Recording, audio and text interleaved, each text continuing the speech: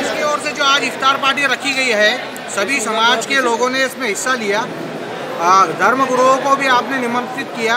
तो क्या संदेश देना चाहेंगे इफ्तार पार्टी के ज़रिए कांग्रेस पार्टी, जैसे कि आप जानते हैं, ये सर्वधर्म संभाव को मानने वाली पार्टी है। आज औरंगाबाद शहर जिला कांग्रेस कमेटी की तरफ़ से हम लोगों ने सभी अपने रोज़ेदार भाइयों को यहाँ बुलाकर उनका रोज़ा इफ्तार के साथ किया।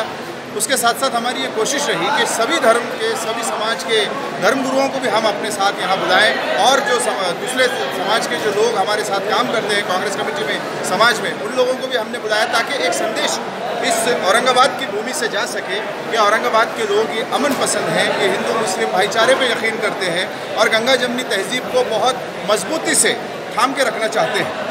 कुछ लोग इस वक्त हम देख रहे हैं कि हमारे शहर के अंदर वो बंटवारे का राजकरण करना चाह रहे हैं और कहीं कोई मंदिर मस्जिद विवाद खड़ा कर कर लोगों को बांट कर समाज में अराजकता फैलाने की कोशिश कर रहे हैं। ऐसे अराजक तत्व जो हैं, जो फैलाने वाले अराजकता, उनके लिए हमारा ये संदेश रहेगा कि आपकी ऐसे इस शहर में कोई भी ज़रूरत नहीं है। यहाँ पे हिंदू मुस्लिम एक साथ रहता है।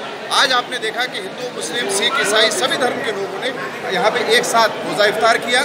और हमारी कोशिश रहेगी कि ये शहर अमन के रास्ते पे चलता रहे यहाँ के युवाओं को काम मिले व्यापारियों को रोज़गार उनका बिज़नेस हो और जो महिलाएँ हैं बहनें हैं बेटियाँ हैं वो सुरक्षित रहें। एक जैसे बोलिए। और अच्छे रहे। आज हम सब जन हमारे भारत देश में रह रहे हैं और हम एक दूसरे के प्यार की खातिर एक दूसरे के सब जो खुशियाँ हैं, जो त्यौहार है, एक दूसरे के सब खुशी में हम शामिल होके उसमें हमारा जो त्यौहार हम मनाना चाहिए और उसमें हम प्यार, मोहब्बत से सब जन अपना जीवन बिताना चाहिए। यही। सर, ये जिस तरह से देश में है तो हिंदू, मुस्लिम का वातावरण किया जा रहा है और धार्मिक प्रोग्रामों के नाम पर इस देश की माइनॉरिटी को है तो उस पर फसादात थोपे जा रहे हैं। उस पीरियड में इस तरह की इफ्तार पार्टियाँ कितना सपोर्ट करती है? क्या मैसेज रहता है इसमें? इसका क्या तुक है? वही, एक दूसरे के जो बुलावा किया जाता है और एक दूसरे के यही सब हम सब साथ में काम करना चाहिए। हम सब साथ में जो भी हमारा जीवन बिताना चाहिए। इसमें हम एक दूसरे के सब खुशी में, दुख में, सब में हम एक होना चाहिए धार्मिक लीडर या धार्मिक जो है तो एक तरह से शांतता के प्रतीक होते हैं शांतता का संदेश देते हैं। क्या इस मुल्क में अभी शांतता है? या फिर इस मुल्क की जो माइनॉरिटीज़ है वो सेफ़ है? आप भी माइनॉरिटी कम्युनिटी से बिलोंग करते हैं। सिचुएशन क्या है वो बताइए। और क्या होना चाहिए?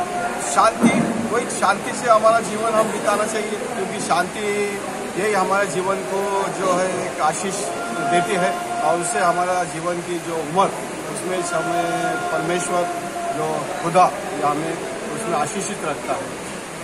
आपका नाम? मेरा नाम फादर राठौर है। देखिए जहाँ भी हो जब एकता बन जाती है तो उस एकता में खुदा खुद मौजूद होते हैं। क्योंकि खुदा यही चाहते हैं कि सारी कौम, सारी कौमें एक हो।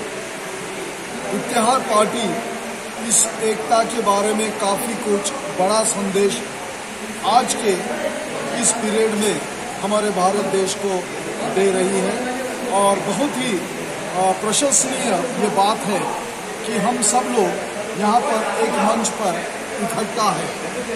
ये भारत के एकता का दर्शन है और भारत की इस एकता को कोई तोड़ नहीं सकता। ये भी भारतवासी खुद खड़े होकर कह सकते हैं।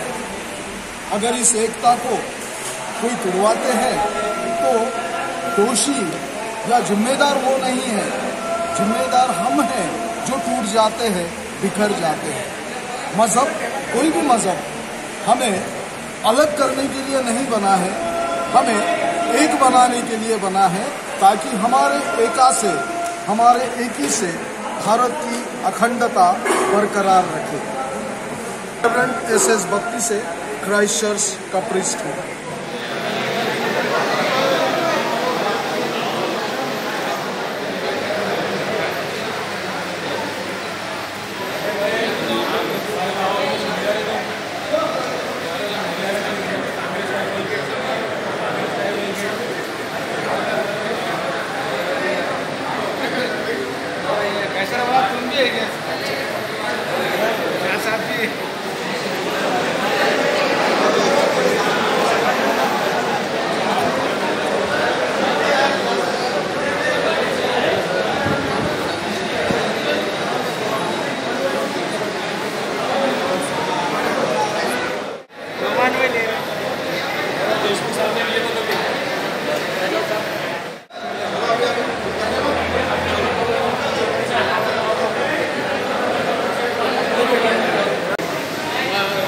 Obrigado.